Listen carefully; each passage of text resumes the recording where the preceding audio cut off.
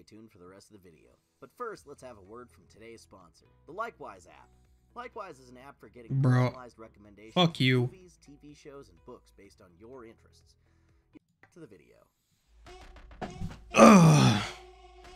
It's been over a year since Marvel's Avengers released and communally disappointed a lot of people by not really being the game they were looking for.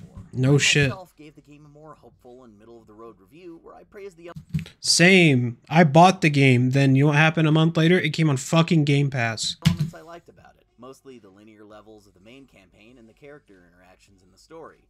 Though Guardians of the Galaxy came along and blew Avengers campaign out of 10 was like I'd probably say like a 6.5. this out Like a lot of other people, I despise the mission structure, bland locations, and generic enemies and frustrating implementation of paid DLC that took up the lion's share of this game. Yet I desperately wanted to like all of the parts of this game that weren't live service related. But with time, even that soured. The Kate Bishop DLC came out and dashed my hopes of things getting better with time because it just That DLC sucked. Doubled down on all the aspects of the game I hated and dumped the ones I liked. It was all massive, boring areas of deserted wasteland full of This isn't my computer. This is his video, by the way. robots and uninteresting cookie cutter mission objectives. So I gave up on it. I didn't want to play Hawkeye or Black Panther because I could already tell those were going to be more of the same. I predicted that you wouldn't even be able to go into Wakanda, just the jungle surrounding it, because, you know, then you Dude, this is not there's no way this is this dude's video. design release. Sure, two of this type of mission. Be all massive, able to go in time into this game again because you know then you'd have to have art design. This is this is literally this guy's video, by the way. and levels and creative architecture and that's all too hard. It's easier to just copy and paste trees on a warped terrain and then put on a dirt or snow or grass texture and call it a day. The only way I knew I would put any time into this game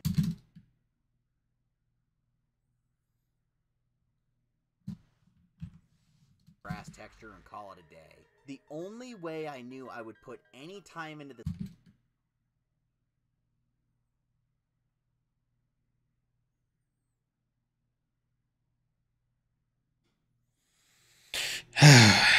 game again was when they added Spider-Man because he looks like oh my god. I never saw so when spider-man got announced i never uh, uh, like i mentioned i i have it on xbox slash game pass. Spider-man's not on xbox so i never got a full look of what he looks like. Holy shit he looks dumb.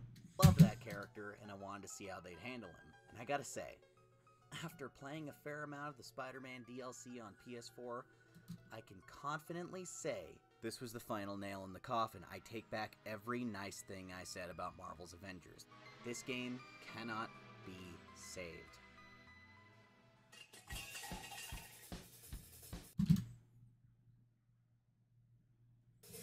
According to numerous news sources, this game didn't break even for a profit and is still struggling to recoup its losses on the inflated budget after a miserable launch and the vast majority of its player base abandoning it shortly after its release. Sure, the interest spikes up again a little with each new expansion, and this game does have its diehards that stick with it yeah again a little with each new expansion, and this game does have its Many people ask me what it's like being the number one Marvel's Avengers streamer. It ain't easy. Keeping a dying game in the social digest is a big undertaking, but this responsibility was best bestowed upon me when the people of Twitch recognized me as 2021's most important influencer. I don't even know who this guy is. Who is.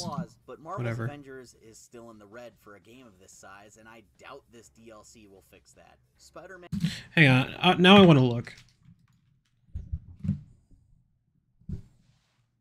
Avengers player count Steam. Are you fucking serious? Oh my god.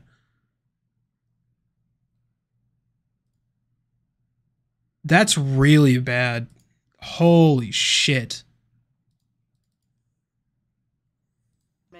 PlayStation exclusive, meaning Xbox, PC, and Nintendo 64 players can't access it. Which Nintendo 64. massive corners out of fairness and having no story or bosses for Spider-Man. The entire mission chain is just tasks like use this attack 20 times, complete two of this type of mission, use this other attack 15 times. The best you get in terms of story is the few tiny dialogue scenes here and there, the longest of which being his introduction so it doesn't feel like he showed up and no one talked about it. You also get some audio logs.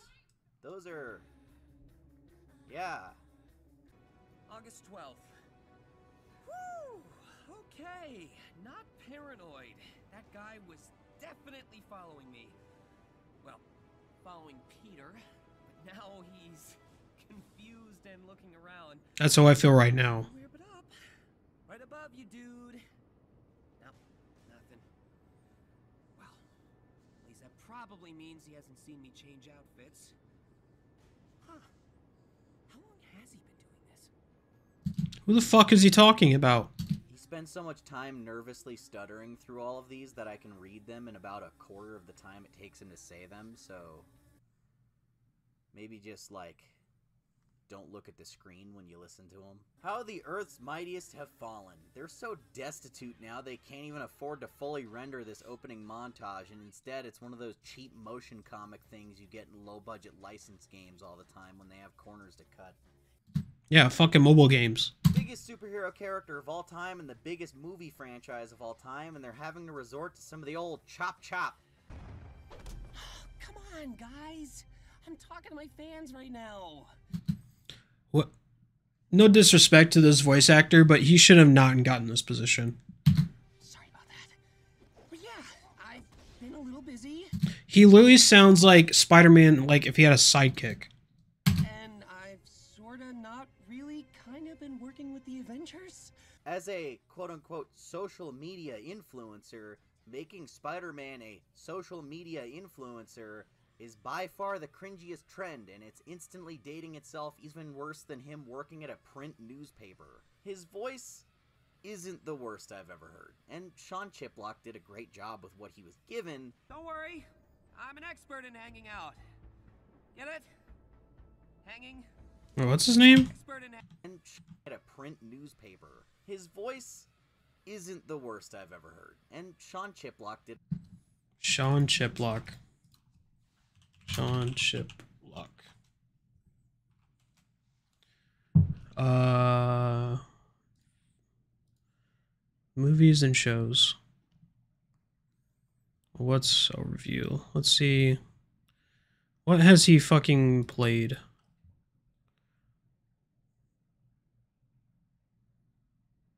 Diablo. What?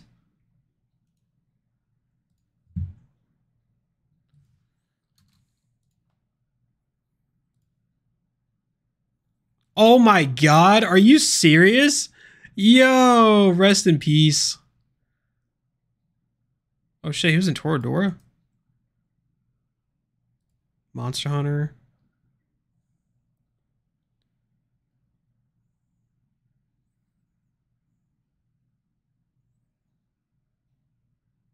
What the fuck? He was in Detective Pikachu? Holy shit, he's been in a lot of games.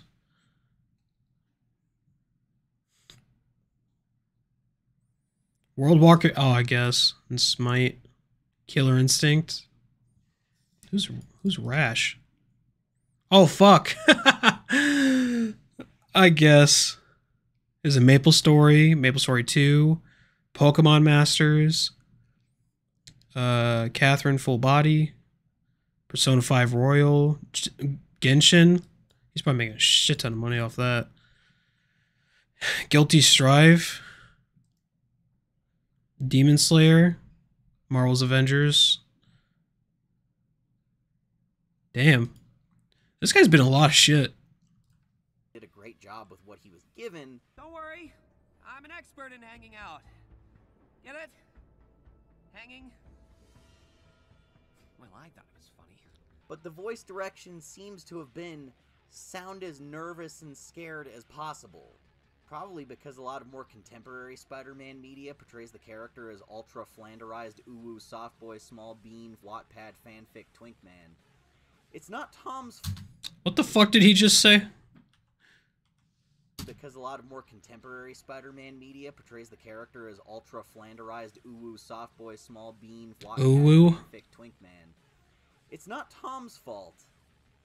It's just every single molecule surrounding him. But unfortunately, the end result is this Spider-Man sounding like a combination of Robbie Daymond and Drake Bell, which aren't exactly my two favorites. It's too high pitched for a Spidey that's meant to be in college, and it sounds weird coming out of this shredded, buff 90s bod Spidey. I think pitching it up was a mistake. I'd like to hear Sean Chiplock do this character again, maybe a little differently, because I feel like he does have potential.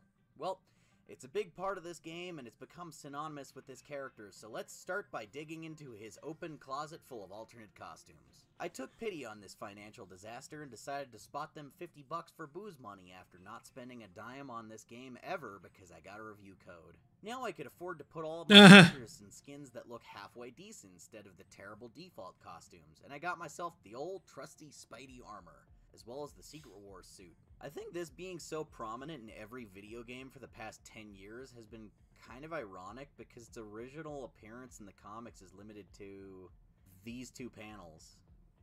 This is the most you ever see of it. Just that just a hand True. in this one. That and the concept art in the back of the book and like an unused cover. And that somehow got a full skin, but not the big time or future foundation suits. They just recolored the bulletproof suit, and there's no black costume. How easily you were showed up by Fortnite of all things. The noir suit is some Because Fortnite has money. That's the best way I can explain that. They have money. somehow not available, just recolors of it that look like crap. I think I have to wait for it to be added to the shop, which is mad. These skins are fucking garbage. What the? What is that big ass hoodie? But hey, at least it's the first time this has ever actually had a trench coat. They had cape physics already nailed down because of Thor, so they could just slap it on, I guess. And the rest of these look like bootleg rainbow colored bullshit. These are worse than what I Bootleg predicted the suits would be like. I like the middle one. Uh, that's a good one. They have costumes that That's- have mustard yellow, sky blue, and gold all mixed together. Or like purple and orange masks that no one would ever want. And of course they put in Webman. You're pathetically predictable. What the hell were they thinking with this design of the Parker Industries suit? They connected the eyes in the middle? You have your mother's eyes. Always two. Fucking close together! So take the handful of good cosmetics and throw the rest in the trash. It's good to know having zero faith in this game's level of restraint paid off. I will admit, however, that this default costume you get at the very start is the most scrumdiddlyumptious, phantasmastical Spider-Man suit I've seen in years. It has nice materials, the seams are in sensible places, the webs look neat and clean and visible at a distance, and the colors are really nice. And it's cool to have a relatively buff Spidey in something after he's been portrayed as more stringy and thin in recent stuff. I love this costume. I wish this is what the movie costumes look like. Spoiler. And then to contrast, we have this atrocity. It's like every bad Spider-Man Okay, his complaint about Tom being small is because he thinks of the '90s cartoon where he's like six foot and fucking ripped like uh Chris Hemsworth. No. redesigned ever lumped into one costume. Also, the right skin is fucking garbage. Panel lining on the blue parts that serves no purpose. Chunky black lines bordering the sh- That literally looks like marker got drawn on, drawn on his chest. Like the the the base of the spider looks all right. It's the outline of the legs looks stupid. shoulders and everything else, segmenting the red in ridiculous ways that don't make sense, and hideous logos on the front and back that for some reason remind me of the Mega Bloks logo. I can't explain it. Want to hear me True. on this for a few more minutes? Here's a time code to skip that. I have pages and pages of material. Everyone's talking about the war on Christmas. I want to talk about the war on Spider-Man's fucking sleeves. Almost every time we've seen them for the last decade, they've been segmented with black or blue lines or omitted entirely. There's an argument to be made about modernizing superhero costumes like taking the trunks off Batman or Superman, But why is this completely benign design element recently accrued such vitriolic fucking ire and hatred from every concept artist from here to Timbuktu? Every goofy asshole with an art degree and a drawing tablet thinks they're completely reinventing the wheel by slicing up this part of the suit like it's a bold new choice that's never been done before, and then proceed to jerk themselves off with their newly minted, overwhelmingly blue abomination as the checks from Sony and Marvel roll in. What's the reasoning? Is it because the webs on his biceps are hard to draw when he bends his elbows and everyone's gotten lazy? Bunch of bitches. Hashtag restore Spider-Man sleeves. Why would you remove the belt if you were going to just put big lines on it to imply where the belt should be? Doesn't that, like, contradict the whole point of removing it? All you're doing is drawing attention to the fact that it's not there. By having it cut this Okay, so I and this is just uh, an opinion regarding the shoulders. It's because they want this it make it look like it's a suit showing the red instead of it being just a a, a skin tight suit from top to bottom. Again, I could be wrong, or maybe they're trying to show that you know he's got you know the shoulders perking up on the sides because it looks like be from the bicep to the shoulder it looks more in like it's like he's got big ass shoulders but his arms are smaller That's the only way I can- or he could be right too far up his belly and it gives the impression the suit doesn't fit properly. that suit looks like it has a fucking belly button Your big idea on how to reinvent the most iconic superhero costume was to make it seem like he was too tall for it? I swear to God, they really thought about giving him toe shoes. oh oof The jesus thought occurred to them in the process. I just know it. It was the only thing they had the sense not to go through with. Fuck this thing. How easily you were What- showed up by what do you- they had the sense Hang not on. to go through with. I don't honestly care for it, but the suit is honestly not that bad. I am mostly exaggerating for comic purposes because I like ranting about Spider-Man costume design. Dude, I want to hit this guy up on Twitter. How do how do I find some of these recent design philosophies tiresome for being unoriginal and repetitive? I feel like the default Spider-Man costume can be redesigned, but in more unique and creative ways. This thing. How easily you were showed up by Fortnite of all things. Yeah, because again, Fortnite has money. So anyway, let's talk about the gameplay. The combat feels about the same as any other character in this game, with your strong and light attacks and your constant button mashing and occasional dodge. His moves are very reminiscent of how he fights with the Insomniac games, with very similar animations, but they're still relegated to the same two buttons instead of a more specific command. So doing these moves doesn't feel as satisfying and deliberate, even if the combat looks about the same visually as the better Spider-Man. Well, it looks the same, but like 60% slower. Dollar store ass Spider-Man. Swinging isn't terrible, but it's not really great either. You can't influence your direction too much while in mid-swing, so it's damn near impossible to swing around a corner fluidly, and you have to readjust yourself between swings instead. It's very slow and heavy feeling. You you literally look like a pendulum. Except you're like you're going forward, then you go a little bit forward again, then a little bit forward again, a little bit forward. Like, and has a set height limit in the game. so you can't oof, man. They don't even just go all the way into the sky. You can see them actually attached to nothing. Ironically, swinging in the city or in a tight corridor is less fun than just an open field with nothing around you for miles. At least here, you don't slam into something constantly and you can start to pick up a little speed. But when you're anywhere else, it's just too unruly to get movement with nuance. It's just underwhelming and not really fun or dynamic. How easily you were showed up by Fortnite of all things. For something Because money called impact webbing, this sure and good game developers. feels fucking limp. Playing multiplayer is once again fun, not because the game is fun, but it's fun hanging out with people I like. The game is just something to keep your hands busy. I might as well be playing with a fucking Rubik's Cube. Or I could just build a Lego set and then rip it apart piece by piece and then build it again to simulate playing this game. True. Again, I love True. My God, true. In the time since I've played Avengers last, I got into Fortnite because of that Alien and Predator DLC, and I now have a frame of reference of how a competent live service game works. It has frequent updates of new content, the microtransactions aren't overwhelming, and you can still have fun with the game without spending money on it. And the progression through the Battle Pass is simple and understandable. The tasks to gain experience points are easy to grasp, and you can just jump in and do them every round. The level 100 unlock True. every season seems like something actually achievable that you can get if you just play a little bit every day, which keeps you coming back. In Avengers, progression is an obfuscated slog with confusing challenge instructions, challenges that take way too long to complete for not nearly enough reward, and gameplay that's stiff and repetitive. I want to put this game down forever, 30 minutes after turning it on every single time. In fact, this game makes me sleepy. Every time I tried playing it for this video, I just wanted to stop and go lay down. Square's Avengers is a secret government op to pump melatonin waves through your Ethernet cord directly into your brain. You're too sleepy to realize how terrible everything's gotten outside of your home. This just isn't how you design fun progression. Every task is tedious and takes forever.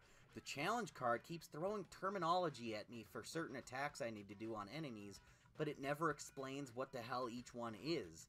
There's dozens of different moves with different names, and I have to go digging around in the four pages of skill trees to figure out which one I'm being asked to do.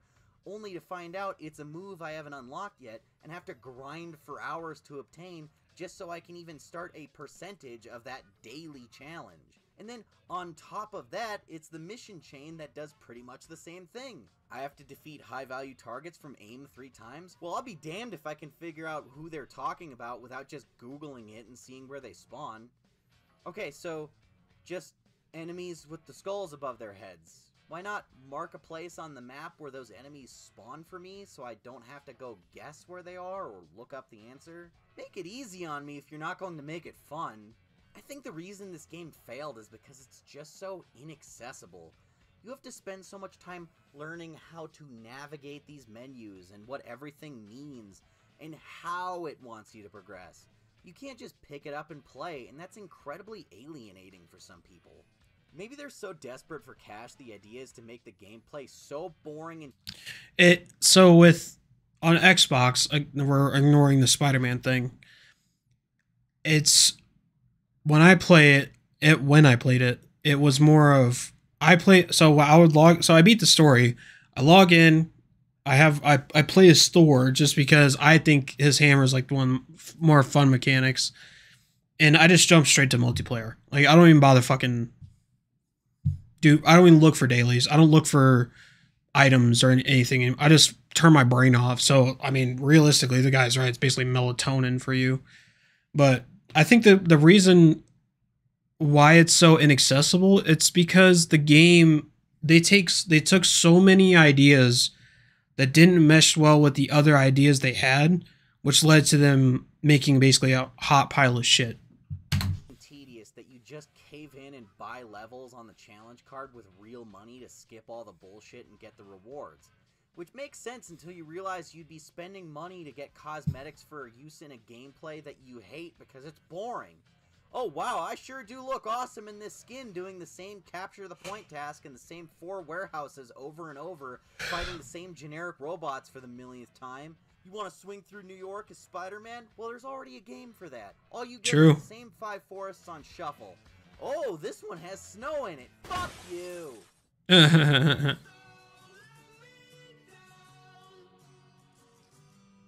The mission chain is boring and tedious to the point that I don't see any real advantage in finishing it. They don't have any bosses for Spider Man to fight, but they do name drop Mark Raxton a bunch of times and have him appear in one tiny dialogue scene at the end just so he could not be Molten Man.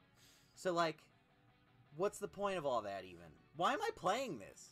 I was starting up the Spider Man mission chain with my sister and my fiance both watching me, and I was like, kind of bragging and joking, and I said, Hey, can you believe how weird my job is? I'm technically working right now. And my little sister looked at the screen and deadass just said, Yeah, this definitely feels like work.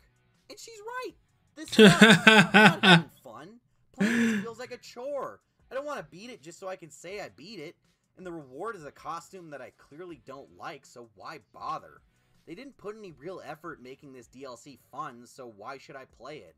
I like Spider Man, sure, but not enough to be bored for hours and hours on end for some stupid sense of completionism. If they're not going to try, then neither am I. I'm done with Marvel's Avengers, and you should be too. Yeah, I I uninstalled my shit like months ago. Don't spend money on this, not even for Spidey. Just go buy Guardians of the Galaxy instead because it's a much more entertaining, polished, and passionate product. You can see love in that game. Marvel's Avengers doesn't love the source material. It doesn't love its player base because it lies to them and then rolls it back Wait. with the source material. It doesn't love its Marvel's Avengers adds paid XP boost after slowing slowing leveling and promising cosmetic only player base because microtransactions. It lies to them and then rolls it back. True. Marvel's Avengers removes pay to win microtransactions after backlash. After a recent fan outcry, Marvel's Avengers is removing paid boost paid boosters due to the claims that it created pay to win scenarios in the superhero title.